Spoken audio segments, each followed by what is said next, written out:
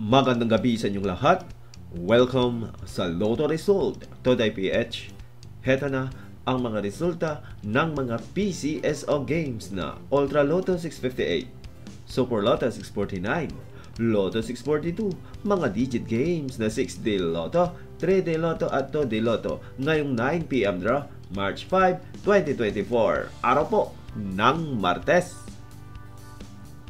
Para sa resulta ng Lotto 642 ngayong 9pm draw, March 5, 2024. Heto mga lumabas na numero 3, 24, 40, 18, 35, at 41 in any order na may jackpot price na 6,911,094 pesos and 60 centavos.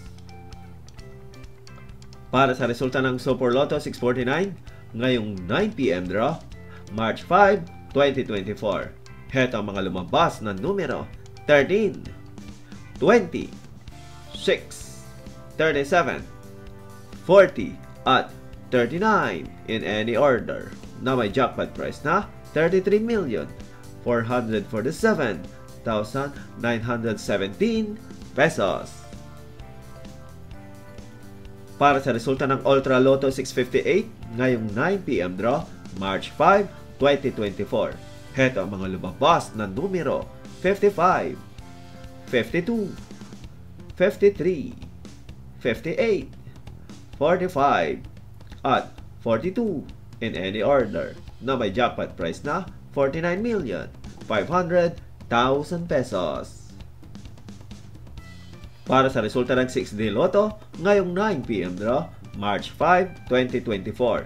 Heto ang mga lumabas na numero 3, 7, 7, 5, 0, at 1 in exact order.